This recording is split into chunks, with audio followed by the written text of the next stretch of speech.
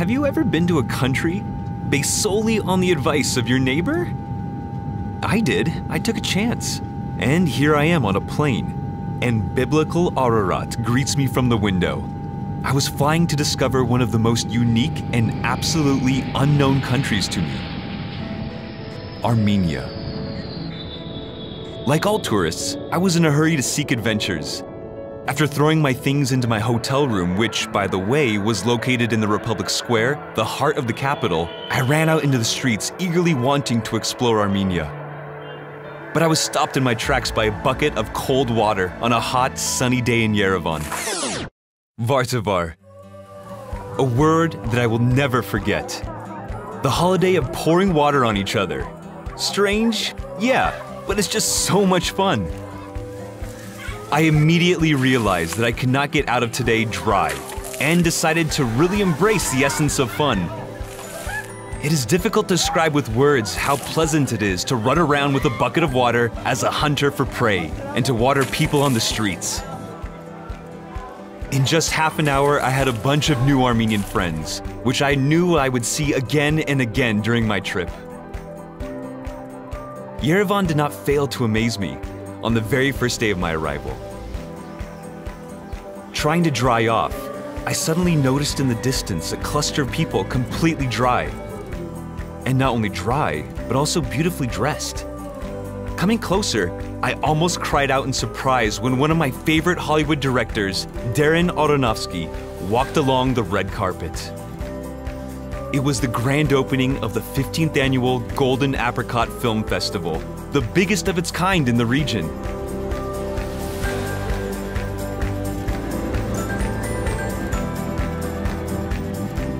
Unfortunately, not being able to join the film festival in wet clothes, I decided to delve into the world of Armenian cinema another way and went to the House Museum of one of the most famous Armenian filmmakers, Sergei Parajanov. And here, I was shocked again as I stumbled into the mysterious fairy tale world of Parajanov.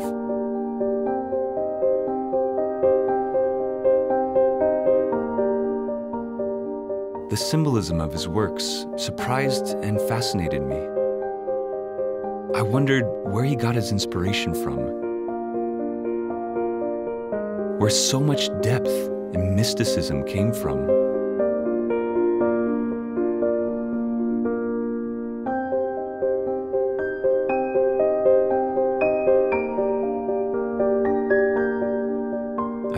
Understand it then, but at the end of my trip to Armenia, everything started to become more clear to me.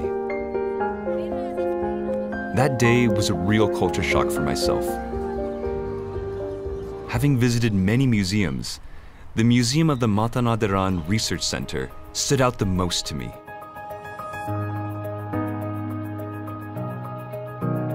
This is one of the largest repositories of manuscripts in the world.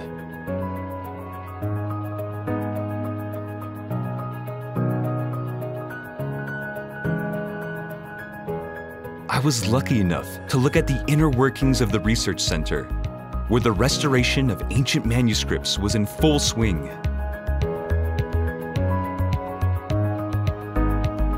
It was magical. For the first time in my life, I really regretted not knowing the old languages and the secrets they held on the origins of world philosophy. A huge number of old books and manuscripts that were in the library of the Matenadaran can definitely be called a treasure, not only for the nation, but of all humankind.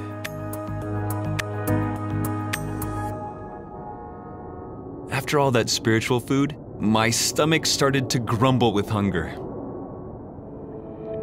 So, heading out to a nearby restaurant, I was suddenly surrounded by a cheerful crowd, which carried me into the depths of the streets. Found myself at the epicenter of yet another festival. Cheerful Armenians lured me from all sides and offered me glasses of wine.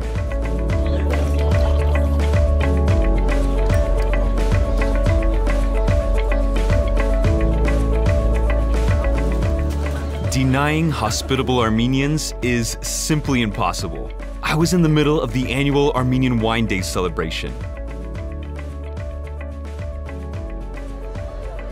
Imagine that. In Armenia, there are amazing, aromatic wines being produced from endemic grape varieties.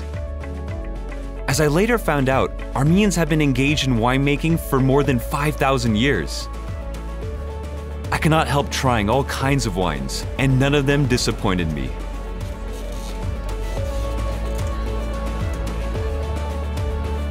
I felt delight, which apparently was shared by all the tourists that I met at the festival.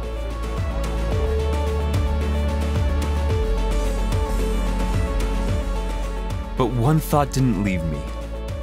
How can one small country have so much? To be both centuries old and yet hold on to their traditions while keeping up with modern times. That was it. I was totally intoxicated by both the wine and by the country itself. The next morning, I decided to test the authenticity of all the information I received yesterday about Armenia, and decided, like an old skeptic detective, step by step, to investigate the secrets of Armenia. I began my journey with the mystery of winemaking, heading to the village of Areni, where investigations were being conducted in one of the local caves. In the process, I encountered the amazing landscape of this country. Little did I know it, but the nature of Armenia was to surprise me again later. But for now, I was really only interested in the wine. As it turned out, the area where the cave is located is still famous for its abundance of various grape varieties, and naturally, it was, and still is to this day, the center of Armenian winemaking.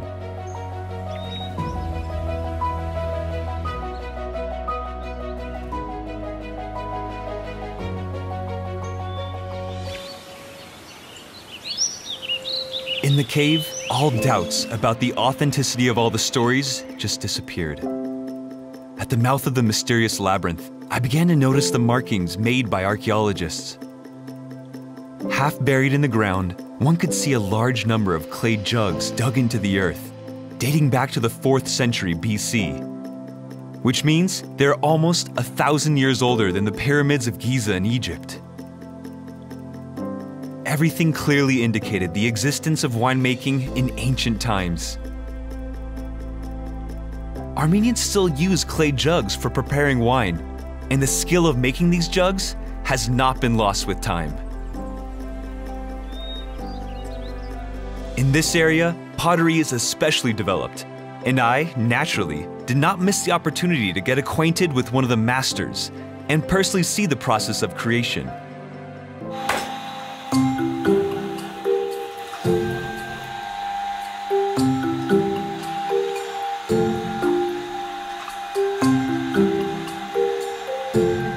Was especially surprised and interested in the painting of the clay jugs.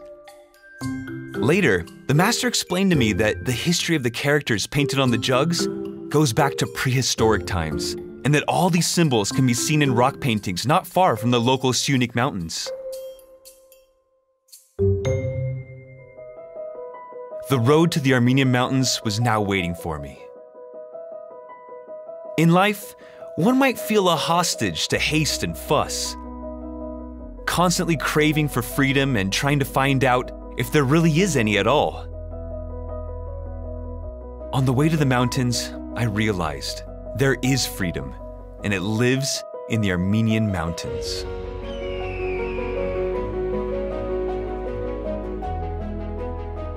Climbing to the top of the slopes, I seemed to be floating in the clouds, admiring them endlessly.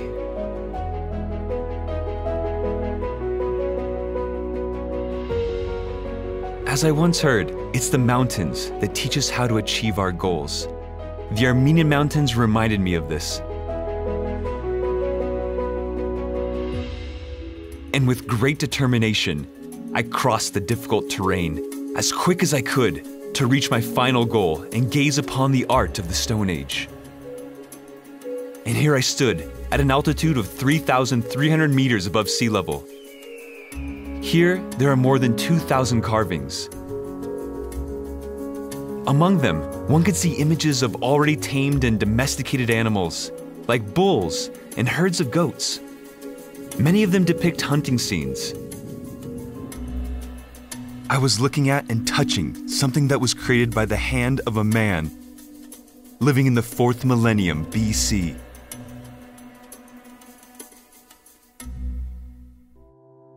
Hour by hour, I noticed how my perception was changing, not only about Armenia, but about the entire world. I became more silent and thoughtful, trying not to miss something important.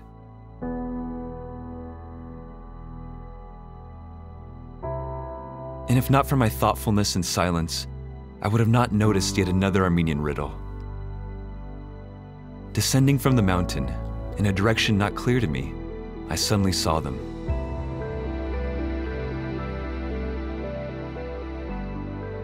Huge stones, lined up in a row, towering alone and waiting for an unknown destiny. Then, I learned that the complex is known as Karahunj and is about 7,500 years old, 2,000 years older than Stonehenge. After reading on the internet a lot of unique facts and comparisons with Stonehenge, I could personally say one thing. This is a place of power. Standing in the middle of the complex, I felt an inexplicable surge of energy. Gaining strength, I continued my journey. I have already accepted Armenia with its centuries old, mysterious history, and with its nature, its people who love their country so much, and their uncomparable mountains, which seem to merge into one.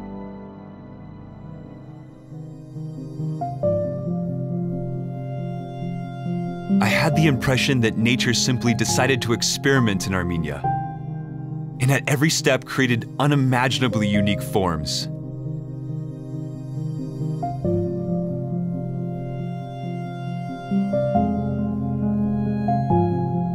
I reached the Symphony of Stones and just couldn't comprehend. How is this possible?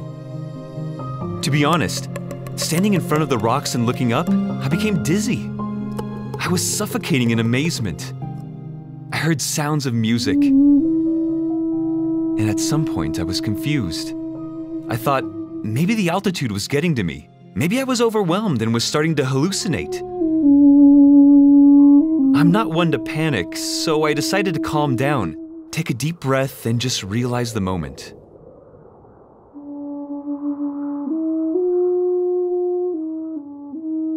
But the music continued. Having listened, I realized that the rocks had nothing to do with it. The melody came from far away, from a neighboring village. I, like a lunatic, mechanically began to move in the direction of the music. And finally, I found its source. The music was coming from the Armenian duduk.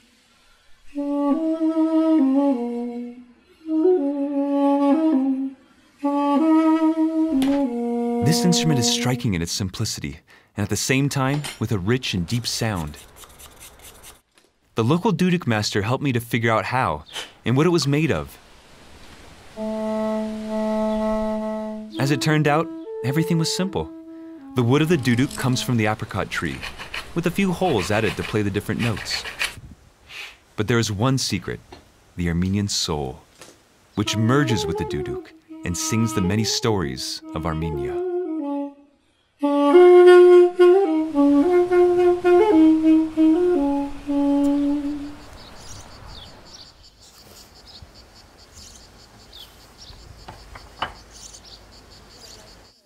General, the Armenian soul is also very versatile.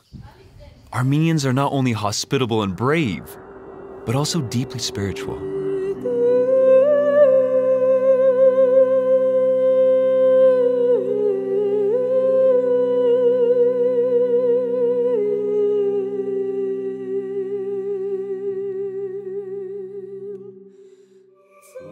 Faith. Here is the greatest wealth of this nation. This is something that one cannot take away from them, nor kill in them. Being the first nation to adopt Christianity as its state religion in 301 AD, Armenians, with inherent diligence, not sparing themselves, built churches and temples for centuries to prove their sincere faith to God.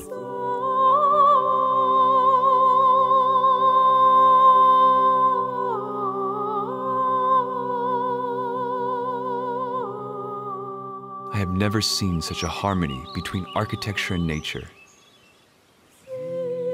The places where churches were erected were again chosen not by chance. They are places of power.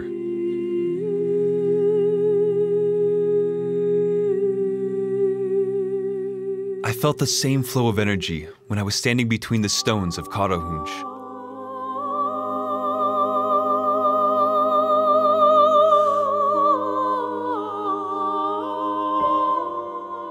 More thing surprised me in this nation. Being a deeply religious people, Armenians did not forget their pre Christian history either. In Armenia, there's also the pagan temple of Garni, which was carefully restored after an earthquake in the 17th century and is now one of the most valuable architectural structures in the world and was even included in the UNESCO World Heritage List.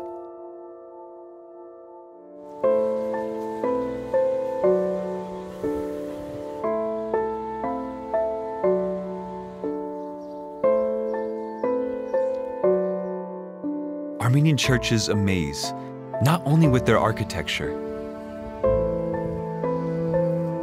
The ornamental facades carved in stone are done with the highest skill and convey all the symbolism of Christianity.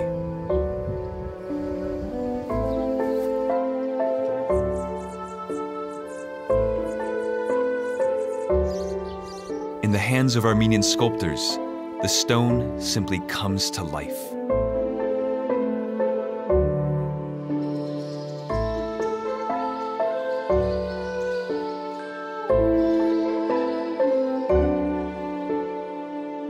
Another striking example of craft is the Khachkar.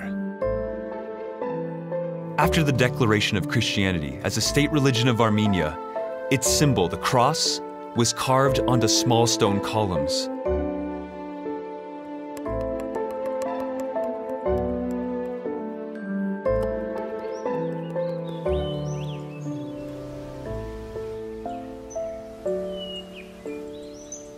Masters created not only freestanding khachkars, but some of them were carved directly into the rock walls themselves, like in the cave monastery of Geghard. I was lucky. Armenia accepted me. While walking through the field of khachkars in the village of Noratus, I purely, by chance, met a khachkar master.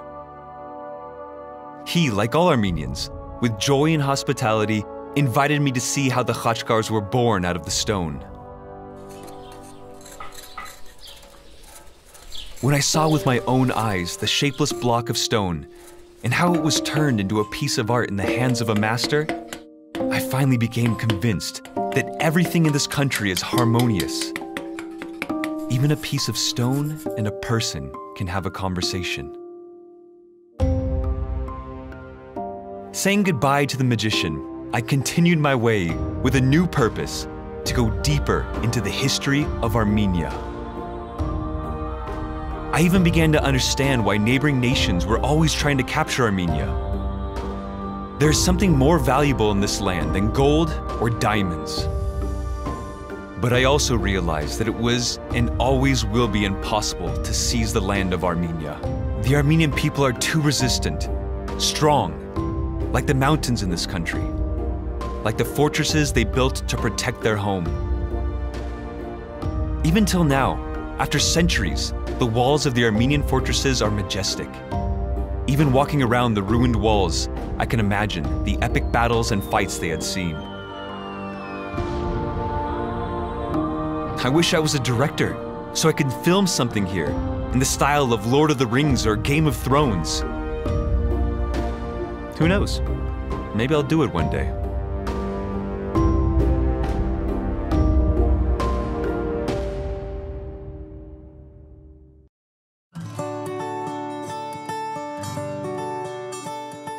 During all my travels, I have never been surrounded by so many happy people. My new Armenian friends decided to show me another Armenia. Let's go, they said, and gave me a bicycle and we were off. At some point, I couldn't believe that I was still in Armenia.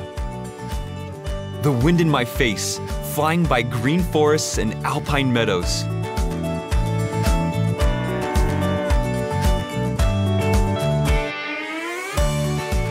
God, where am I?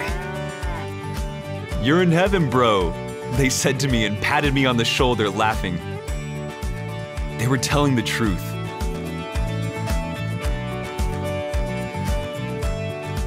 The guys conspired, and especially for me, they took me down the Paradise Trail.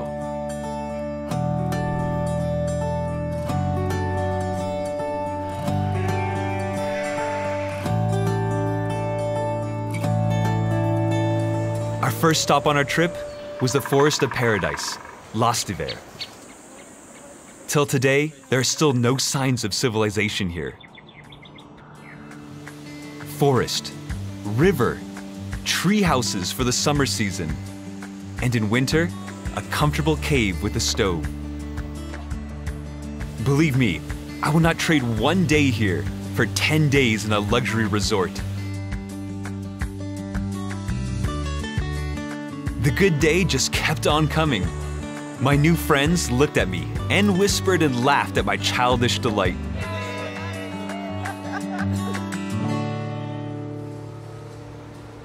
The next point of interest was a view of the monastery complex Tatev, but from the air. I was rolling along the longest ropeway in the world. Yeah, the world. What can I say? I know I'm repeating myself, but I can't say anything other than how amazing, delightful, and beautiful everything was. I was struck by strong emotions, constantly poking my finger at the window, trying to show everyone else how beautiful the nature was, how fabulous the monastery was. And between all these exclamations, I kept saying, How I wish I was a bird so I could fly around Armenia. And my friends, as usual, patted my shoulder and said that in Armenia, dreams often come true. And I have to be more careful with my desires.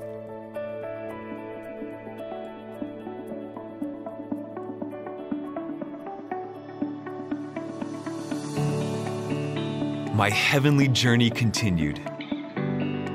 This time, the guys did not say where we were going. They just hinted they wanted to prepare me for the most unforgettable experience in my life. Okay, I thought. Is there anything left that could surprise me in this country? I felt a whole flock of butterflies fluttering in my stomach.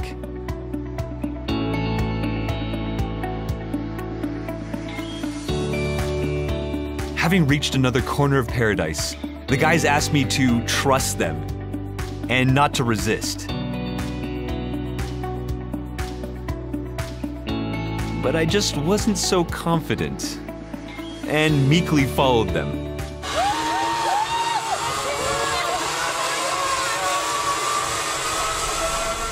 No, it's better that I don't say what happened to me. Instead, I will just say that adrenaline is good for you.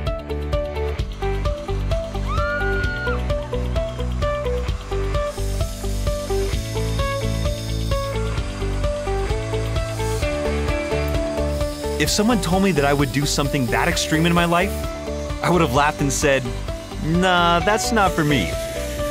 I would rather have a soft cushion, a terry robe, and a glass of wine. Uh, Armenian wine, of course. Without this video, no one would have ever believed me that I even stood close to that zipline.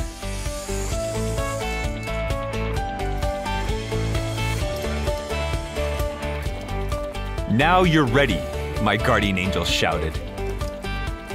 Yeah, yeah, I'm ready. I was ready for everything. But you can't imagine what I was ready for.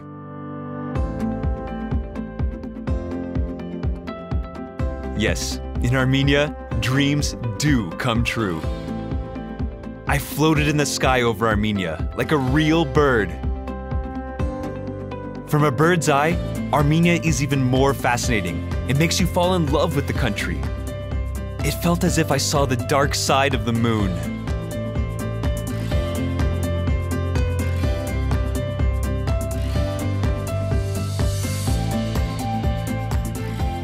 And finally, I saw the veins and blood that nourish this land. Rivers, ponds, waterfalls, like diamonds adorned a temperamental woman. Armenia.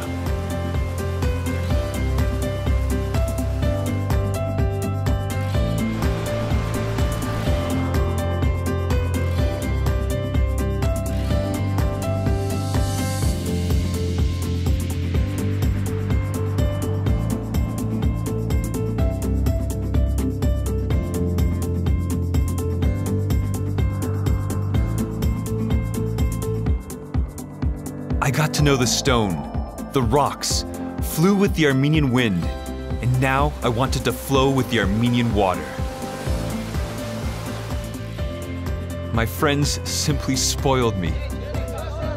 Believe me, it wasn't just the adrenaline speaking, but the delight of the fact that on our Earth there is a place where you can feel everything.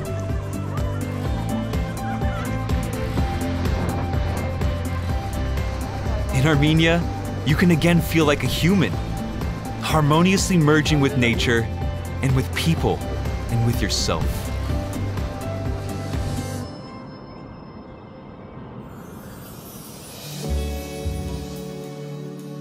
The day was coming to its end, but not our journey. The guys decided to end the day on the shores of the Armenian Sea, better known as Lake Sevan. Even Sevan was better than the sea.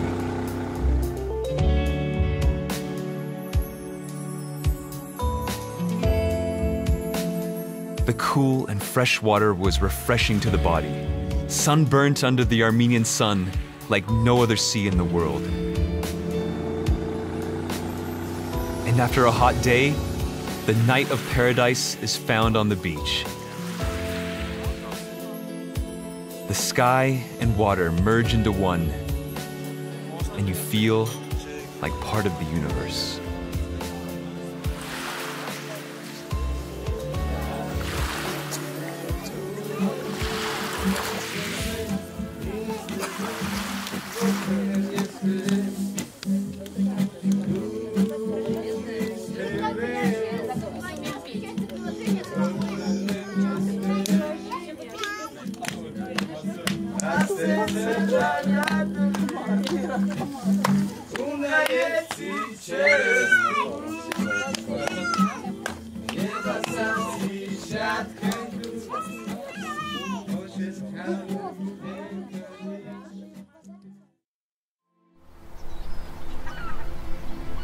This is the morning of my last day in Armenia. My happy Armenian friends, the beach, Armenian water, and clean air surrounded me. All that was missing was a genuine Armenian breakfast. Friends continued to care for and take care of me, and offered me breakfast in one of the local villages to get acquainted with the local cuisine. Authentic food is everywhere in Armenia. Just imagine what you can grow on this kind of land, with this kind of water, and this kind of sun.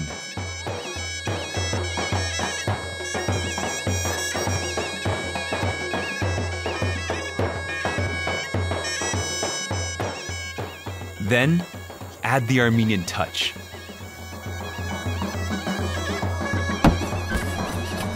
That carefully cultivates and prepares, and you will get the purest and most natural product you have ever tasted. Time passed. And it was time for me to return. My farewell was the worst moment in the whole trip around Armenia. I wanted to keep enjoying this fantastic country, the people, freedom, and beauty just a little bit longer. But what could I do? Every good story has an end. I took the train and headed back to Yerevan. On the way, I thought a lot. I pondered and flipped through everything I saw and felt here several times.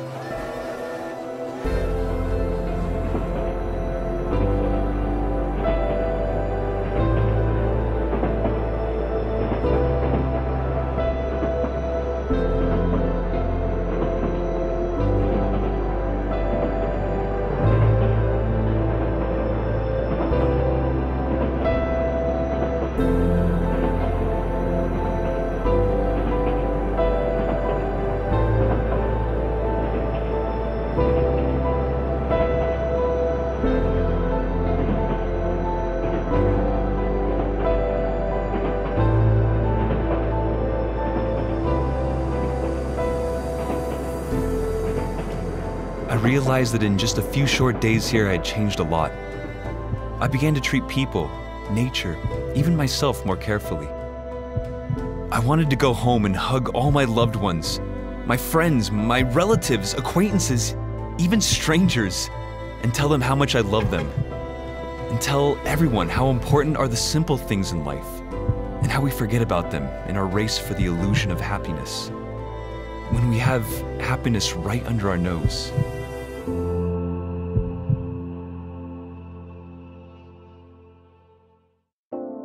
I got to Yerevan at night. My plane flew off at dawn, but I did not want to waste time sleeping and decided to say goodbye to Armenia by walking the cozy and safe streets of the city at night.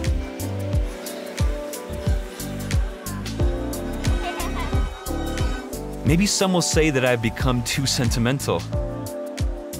But no, I just felt that I had lost a lot of time on the frivolous, and I had forgotten to sincerely smile and wonder, rejoice and love. Thank you, Armenia. I love you, and I'm not saying goodbye.